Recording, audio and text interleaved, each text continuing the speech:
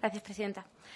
Eh, sinceramente, y al hilo de lo que se ha comentado en las anteriores intervenciones, me Mm, produce bastante sorpresa leer esta iniciativa del Partido Popular, a primera vista muy bien intencionada, pero de facto, por lo menos es la sensación que a mí me da, superficial y vacía y parece que simplemente para cubrir expediente.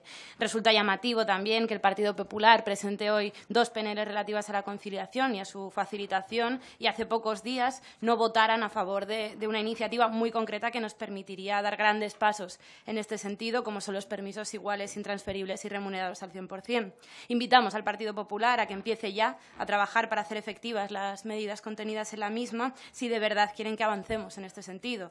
Porque actualmente un 80% de las mujeres tienen problemas para, para conciliar y el 88% de las empresas definen totalmente el horario de sus trabajadoras. La práctica totalidad de las empresas españolas son pymes y, por tanto, no tienen la obligación de elaborar planes de igualdad tras nueve años de aprobación de la Ley de Igualdad, creo que va llegando el momento de dar más pasos, como por ejemplo caminar hacia que todas estas empresas tengan la obligación de tener un plan de igualdad. En principio votaremos a favor porque, no estamos en contra de, las buenas intenciones, aunque parezca que, van a quedarse simplemente en eso. Pero, señorías, la conciliación y los cuidados conciernen a toda la sociedad, no solo a las mujeres.